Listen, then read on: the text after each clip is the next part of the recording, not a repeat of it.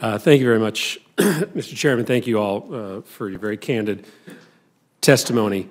Um, I sort of feel uh, as if this is a hearing on a document that I haven't seen. Um, uh, and, and so I want to explore um, some of the inconsistencies between the interpretation of three of our witnesses and the words on the page. But, but first, I want to just start with you, uh, Mr. Barden. I want to thank you uh, for your advocacy in the face of unimaginable grief. And I want to specifically thank you for the holistic way in which Sandy Hook Promise has attacked this problem. We're sitting here talking about uh, the ways in which we can change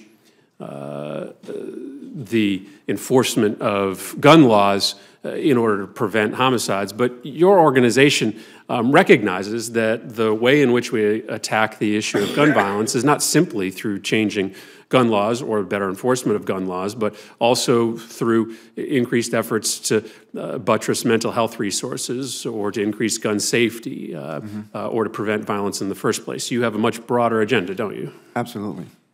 Um, and I think, you know, I hear words like attacked and this adversarial approach, and I, I, think we should all be on the same page here. I think really, really we should be looking for solutions where we can agree that we need to move forward. Something has to be done. Um, and and this, this situation, the problem of, of gun-related tragedies, is huge and broad and complex, and no one law will fix it all, no number of laws will fix it all, nothing will fix it all.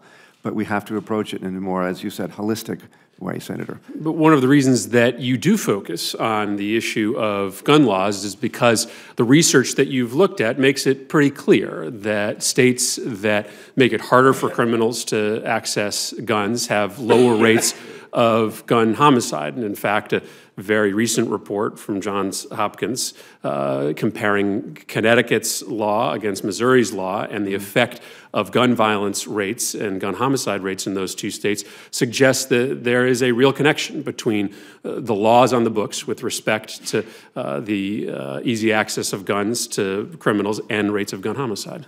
Yes, that's correct, Senator. Um, there is clear evidence-based research conducted by Johns Hopkins um, that clearly indicates that the permit to purchase um, uh, regulation actually does, uh, has reduced homicides by 40 percent. It has reduced, reduced suicides by over 15 percent. And uh, those, those numbers are reflected in the, in the inversion in states like Missouri that do not have this law, where homicides have risen by 40 percent in the same time period. Suicides have gone up in, in 15 percent. And, and it comes down to, it, it comes down to access.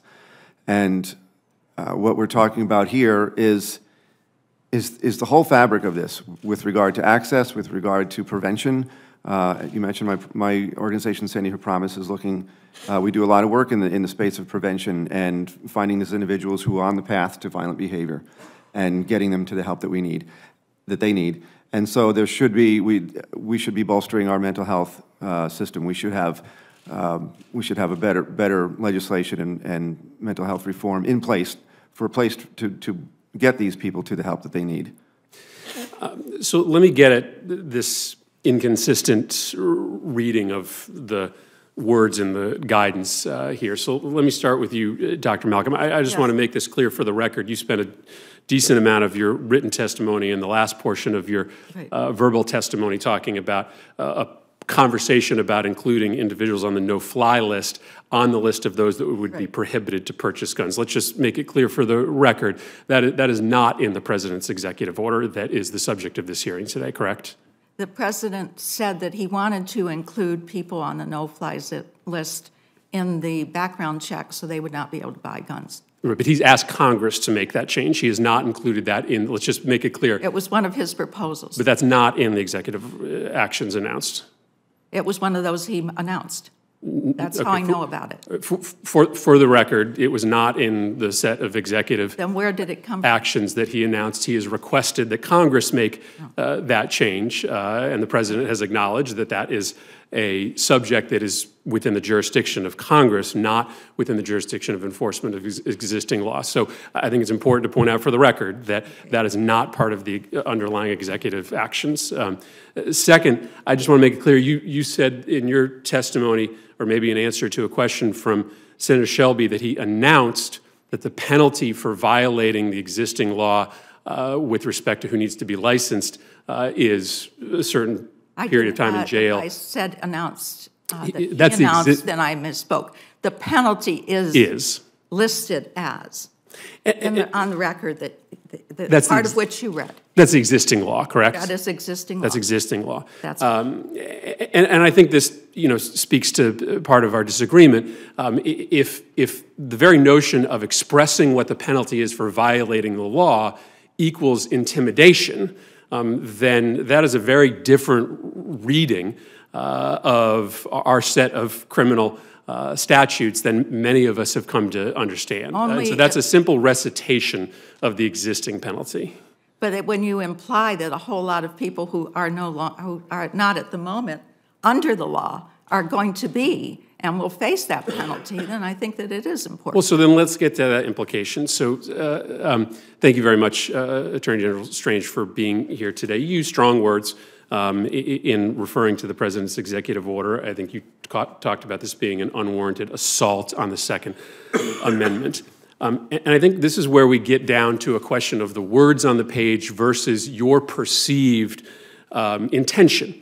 Um, and maybe we can all concede that it's a little difficult for us to uh, understand uh, what sits in the thoughts and minds of the individuals who write laws and write guidance. And so we're left uh, first with the words on the page. So maybe just share with me um, which of these sort of five key points that are in this guidance um, do you perceive to be the unwarranted assault on the Second Amendment? O- Or is that interpretation dependent on an interpretation of intentions that you've derived independent of what the Attorney General has testified to today? Well, I think I would adopt the comments of my colleague, Senator Cuccinelli, and I think Senator Shelby's already sort of gone into that, into that detail, and I'm happy to answer that question, but I'm really jumped at the opportunity to come at the senator's invitation because I wanted to deliver the message from the men and women on the street, the people who are actually going into the cat- catastrophic active shooter situations, and get their opinion and bring that here, and not only to criticize the president's proposal, because I don't think it's the right way to go about addressing these issues we all care about, but to point out that the areas that do make a difference and where the Senate committee here can make a difference have been neglected. And one example is the, uh, But, but, but I guess my, my question, let me just, because I, I'm going to run out of time, I know I'm already over, but what, what specifically, what, what's the section here that you perceive to be, uh, be intimidating?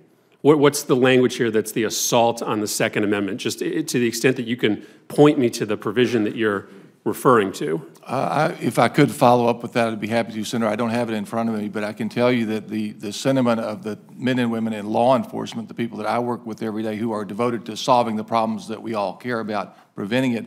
I I appreciate that. I think, I think, you- I think you have an obligation to, to point to the specific provisions, given that we're talking about it. But let me, I think, uh, Mr. Cuccinelli, you might be jumping at that opportunity, so let me just turn it over to you. I, I get the sense that you probably have the most problem with the recitation of the existing court cases that, uh, uh, um, that are currently the way in which you would interpret whether you are subject to the requirement or not.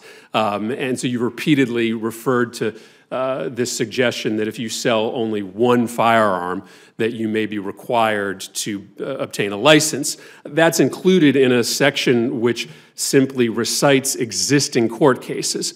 Um, so let, let me just ask you the simple question Do you dispute any of the information that's listed in this section relative to the description of existing court cases on this question of who has to get a, who has to get a, a license? My concern partly arises from uh, experience. I mean, in my four years as Attorney General of Virginia, um, I dealt with the business end of the spear of the federal government as they overread, if you will, overinterpreted, and thereby used very aggressively authority they didn't have. And we beat them back occasionally, but we had to do it.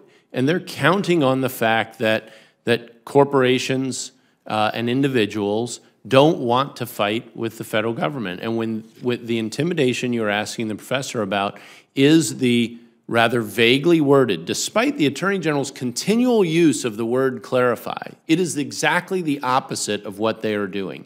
They are opening the door to the application of five-year jail penalties to a bunch of people who right now, under the existing law, believe they understand that they don't fall under that umbrella. What's, what's, what's vague here? Point me to the, so what I see is a recitation of the existing law and then a recitation of existing court cases that are public records. So what of that is, is, is intentionally vague such as to be uh, intimidating?